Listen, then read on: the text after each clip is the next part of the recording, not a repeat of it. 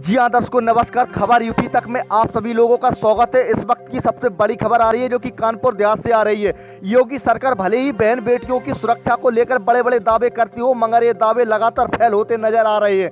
ताज़ा मामला डेरापुर थाना इलाके का है, जहाँ पीड़ित ने बताया कि उसकी नाबालिग बहन को गाँव का ही युवक बेला फुसला कर ले गया है। वहीं पीड़ित युवक ने थाने पहुंचकर न्याय की गुहार लगाई है। पीड़ित युवक ने थाना पुलिस को दिए तहरीर में आरोप लगाते हुए बताया कि उसकी नाबालिग सत्रह वर्ष की बहन को गाँव का ही युवक बेला फुसला कर ले गया है। घटना दो मई की देर शाम की है। जब पीड़ित युवक के घर पर कोई नहीं था, उसी दौरान गाँव में रहने वाला युवक अनुराग मेरी बहन को ले गया। हालाँकि परिजनों ने काफ़ी खोजबीन की, लेकिन नाबालिग लड़की का कहीं सुराग नहीं लगा। इसके बाद परिजनों ने देरापुर थाना पहुंचकर मामला दर्ज करवाया वहीं पीड़ित पक्ष का कहना है कि पुलिस ने मामला तो दर्ज कर लिया है, लेकिन कार्रवाई के नाम पर सिर्फ़ और सिर्फ़ झूठा आश्वासन ही मिल रहा है। मामले में कार्रवाई न होता देख पीड़ित ने न्याय के लिए पुलिस कप्तान की चौखट पर जा पहुँचा और पुलिस अधीक्षक केशव कुमार चौधरी को लिखित घटना की जानकारी दी। फ़िलहाल पीड़ित परिवार लगातार न्याय की गुहार लेकर दर दर भटक रहा है, इतना ही नहीं, आरोपी पक्ष के लोग फर्जी मुकदमे में फंसाने की धमकी दे रहे हैं,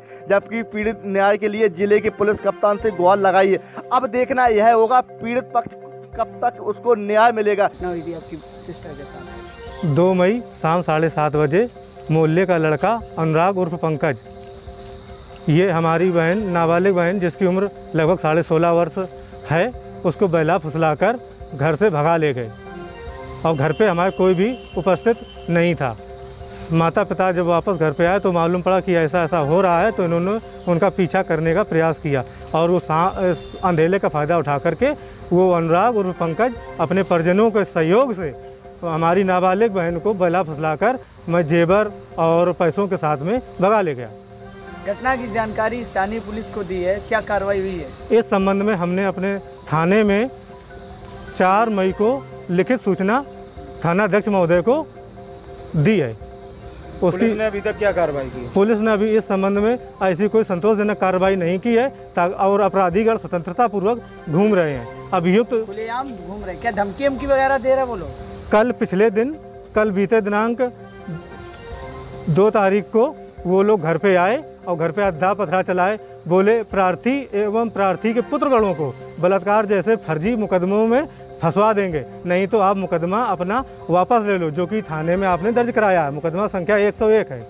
दो मई की घटना हो गई है। दो मई को घटना हुई थी। तब से पुलिस की कार्रवाई नहीं हुई। आपने ज़िले के पुलिस कप्तान से शिकायत की इस संबंध में? जी इस संबंध में हमने एसपी साहब को भी अपना प्रार्थना पत्र लिखित दिया है। क्या आश्वासन मिला?